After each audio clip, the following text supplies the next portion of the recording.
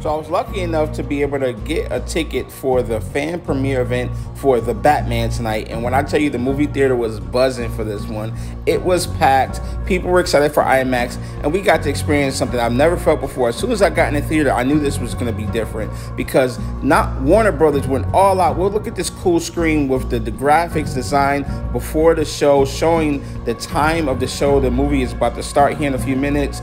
Um, they had cool different graphics. This is like anything I've ever seen in the theater before. They had cool interactive quizzes to test our knowledge as Batman fans. They had QR codes that took us to comic books, as you see here.